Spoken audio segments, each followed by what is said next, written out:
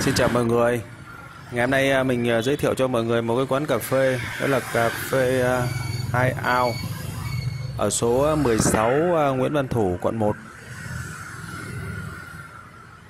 Quán cà phê này thì có một cái màu sắc tông trầm Tạo một cái cảm giác dễ chịu. Quán thì ngoài cà phê thì có rất là nhiều những cái đồ uống khác. Ngoài ra thì ờ, tầm khoảng ờ, 10 giờ 30 ờ, đổ ra thì sẽ có rất là nhiều món bánh ngoài bánh cốt xăng bánh waffle thì sẽ có rất là nhiều những cái bánh ngọt khác. Không gian ở đây thì nhỏ nhưng mà tương đối là dễ chịu. Quán thì đặt nhạc êm dịu và theo mình thấy thì thích hợp với những người mà ưa thích ờ, sự yên tĩnh rồi có thể ờ, lướt web ờ, nói chuyện và đọc sách.